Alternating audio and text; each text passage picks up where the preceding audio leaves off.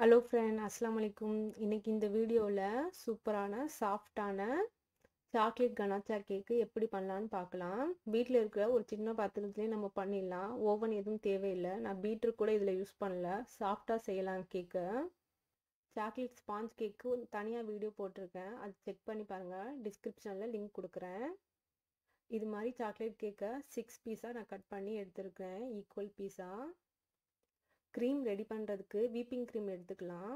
அதுக்கு முன்னாடி அதுக்கு யூஸ் பண்ணுற பொருள் எல்லாம் ஃப்ரீசரில் வச்சு எடுத்துக்கோங்க.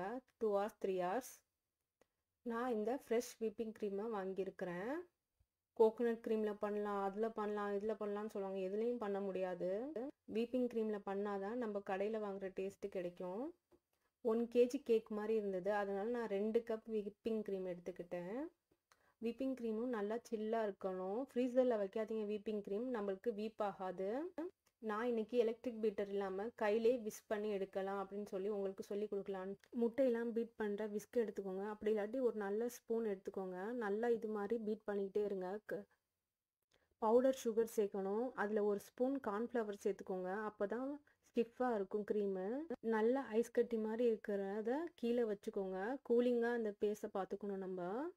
ஐஸ் கட்டி கீழே இருக்கிற மாதிரி இருந்தால் வீப்பிங் க்ரீம் வந்து நல்லா ஈஸியாக நம்மளுக்கு வீப்பாய் வந்துடும் ரூம் டெம்பரேச்சர் ஏதாவது சமைச்சிக்கிட்டே வீப்பிங் க்ரீம் செய்யாதீங்க. ரூம் டெம்பரேச்சர் ரொம்ப சூடாயிரும். இப்படியே நல்லா வீப் பண்ணால் நம்மளுக்கு வீப்பிங் க்ரீம் ரெடி ஆயிரும். கொஞ்சம் கெட்டியானதுக்கப்புறம் சாக்லேட் பவுடர் சேர்த்துக்கோங்க கொக்கோ பவுடரு. ரெண்டு கப் வீப்பிங் க்ரீமுக்கு நான் அரை கப் கொக்கோ பவுடர் சேர்த்துருக்குறேன். பாருங்கள் கையிலே வீப் பண்ணி எவ்வளோ ஸ்டிஃபாக இருக்குது பார்த்தீங்களா வீப்பிங் க்ரீம் ரொம்ப சூப்பராக ரெடி ஆயிரும். வெனிலா எசன்ஸ் ஒரு ஸ்பூன் சேர்த்துக்கணும். கண்டிப்பாக சேர்க்கணும் வெனிலா எசன்ஸ். அப்போ தான் வீட்டில் கடையில் கிடைக்கிற டேஸ்ட் நம்மளுக்கு வரும். சாக்லேட் கனாச்சா செய்ய இது மாதிரி ஒரு சாக்லேட் எடுத்து கட் பண்ணி வச்சுக்கோங்க. நூறு கிராம் சாக்லேட் எடுத்துருக்கிறேன். ஒரு பாத்திரத்தில் நல்லா ஹாட் வாட்டர் எடுத்துக்கிட்டு அதில் ஹண்ட்ரட் கிராம் பட்டர் சேர்த்துக்கோங்க. பட்டர் இல்லாட்டி நீங்கள் ஆயில் கூட சேர்த்துக்கலாம் ஹண்ட்ரட் எம்எல் அந்த சூட்லேயே டபுள் பாயில் மெத்தடில் இப்படி மெல்ட் ஆகிற மாதிரி மெல்ட் பண்ணிக்கோங்க. சாக்லேட்டும் பட்டரும் சேர்த்து. ஹனி கொஞ்சம் சேர்த்துக்கோங்க. ஸ்வீட்காக கொஞ்சம் கிளேசியாக இருக்கும். நல்லா பார்க்க லுக்காக இருக்கும். க்ரீமு அதுக்கப்புறம் நான் கா கப்பு வீப்பிங் க்ரீமே எடுத்துக்கிறேன். ஃப்ரெஷ் க்ரீம் சேர்ப்பாங்க. என்கிட்ட ஃப்ரெஷ் க்ரீம் இல்லாதனால வீப்பிங் க்ரீமே எடுத்துக்கிட்டேன். நல்லா சேர்த்து மிக்ஸ் பண்ணால் நம்மளோட சாக்லேட் கனசா ரெடி ஆயிடுச்சு கேக் பீஸோட ஒரு பீஸ் வச்சுட்டு அதில் சுகர் சிரப் நல்லா சேர்த்துக்கோங்க. சுகர் சிரப் நல்லா சேர்த்துக்கோங்க. எல்லா சாக்லேட் படுற மாதிரியும்.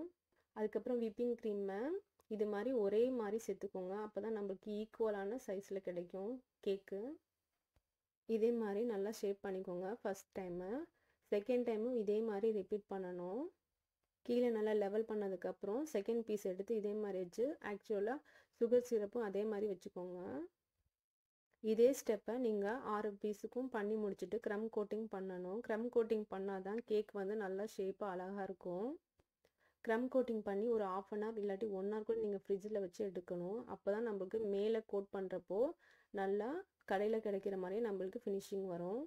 ஆஃப் அன் ஹவர் கழித்து எடுத்து நான் ஃபினிஷிங் ஒர்க் பண்ண போகிறேன் இதே மாதிரி க்ரீம் எடுத்து அப்ளை பண்ணி நல்லா ஷேப் பண்ணிக்கோங்க கேக்கை சைட்லேயும் அப்ளை பண்ணணும். அதே மாதிரி வீப்பிங் க்ரீமை இதே மாதிரி அப்ளை பண்ணி லெவல் பண்ணிக்கணும் கேக்கை அழகாக ஃபினிஷிங் கிடைக்க கொஞ்சம் ஹாட் வாட்டர் எடுத்து லைட்டாக நம்ம லாஸ்ட்டில் ஃபினிஷிங் கொடுத்துக்கலாம். அதுக்கப்புறம் நம்ம செஞ்சு வச்சுருக்க சாக்லேட் கனாச்சா கேக் ஒரு ஆஃப் அன் ஹவர் கழித்து இதை போடுங்க. அப்போ தான் நமக்கு கேக் செட்டாக இருக்கும் நான் ஃப்ரிட்ஜில் வச்சு எடுத்ததை காமிக்கல உங்ககிட்ட. வீடியோவில் காமிச்ச மாதிரி கேக் ஃபுல்லாக கோட் ஆகிற மாதிரி சாக்லேட் கனாச்சாவை இப்படி பண்ணிக்கோங்க. அதுக்கப்புறம் மேலே டெக்கரேட் பண்ணிக்கலாம். நான் சைடில் இந்த சாக்லேட் வீப்பிங் பண்ணியிருந்தால அதை வச்சு டெக்கரேட் பண்ணிக்கிறேன். மேலேயும் இது மாதிரி பண்ணிக்கிட்டேன். அதுக்கப்புறம் சாக்லேட்டை இது மாதிரி சைடில் வச்சு டெக்கரேட் பண்ணியிருக்கிறேன். உங்களுக்கு இந்த வீடியோ பிடிச்சிருந்தா லைக் பண்ணுங்கள் ஷேர் பண்ணுங்கள் இதே மாதிரி வீட்டில் ட்ரை பண்ணிவிட்டு கமெண்ட் பண்ணுங்கள் எப்படி இருந்ததுன்னு சொல்லிட்டு.